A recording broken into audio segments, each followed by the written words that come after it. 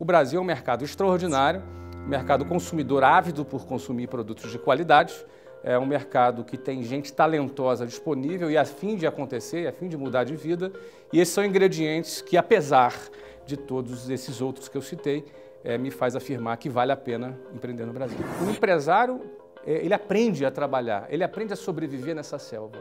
Mas o que realmente me desperta um grande lamento é pelo cara que trabalha, que ainda, em alguns casos, acredita que está sendo protegido, no fundo, ele está vivendo num sistema onde o poder de compra dele é menor, porque ele ganha menos dinheiro, poderia ganhar mais e ganha menos.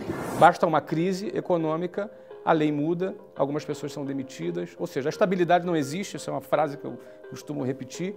No entanto, essa cultura da, da estabilidade, ela é oposta, ela é antagônica à cultura do empreendedorismo. E para um país crescer, e um país que eu já falei que tem 70% dos empregos gerados por pequenos e microempresas, para um país resolver o problema do desemprego e ele se desenvolver, o mercado se desenvolver, precisa de mais gente pensando e querendo vencer dentro desse sistema, apesar de todas as dificuldades que existem.